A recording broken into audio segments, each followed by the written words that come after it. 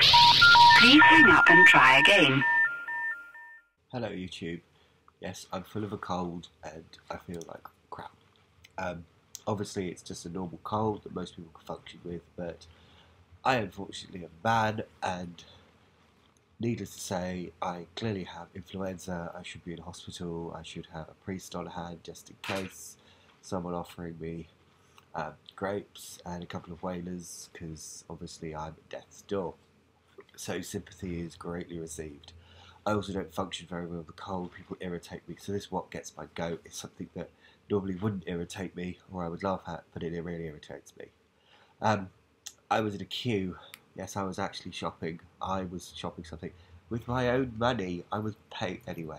That's neither here nor there. Anyway, I was in a queue and I was one before the counter and I heard this person, this young chap, go, "Oh, your chip and pin, your card reader thing isn't working." I was like, "Oh, great! I don't carry cash."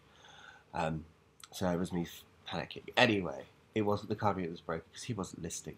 The lady at the counter said, "The contactless isn't working," and this is what gets my goat. It's silly comments. He goes, "Oh, I'll have to do it the old-fashioned way and use my pin number."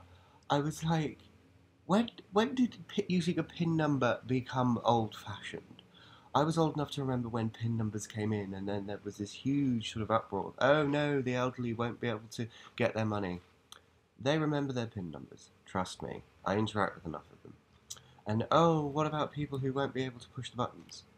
You want your money, you'll push your buttons, or you'll get someone else to do it for you. Anyway, but my point, my, what gets my goat, is silly comments like that. I mean, have we got to an age of society now where something that is less than a year less than a year old? I mean, no pin numbers are older than that. I'm not completely bereft, but it just seems that everything is so old hat before it even starts, and I'm just confused. I'm clearly old. I'm full of a cold, so that's what gets my goat. Silly comments. If anyone else has heard a silly comment recently, or something that's made them go, "Really? I, I, I really that that's someone's social norm, then please put it in the comments down below and all of that jazz. Um, also, check out a couple of videos that uh, I'm now. Uh, I say a couple of videos. I was did a question and answer. I answered. No, I didn't. I didn't do the question and answer. No, no. I asked a question to someone who did the question and answer, and um, yes, I will make sure that the link of things in, is below. Go and check out his channel. He's very very funny, um, and things of that nature. But yes, what gets my goat?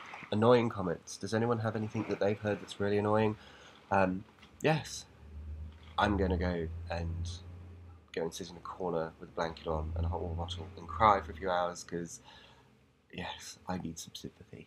Hello to all of our America friends. Hello to all of our UK friends. I would list them, but it makes it sound like I've got lots of friends. No, I just can't remember your names at this precise moment in time because it's all about me at the moment.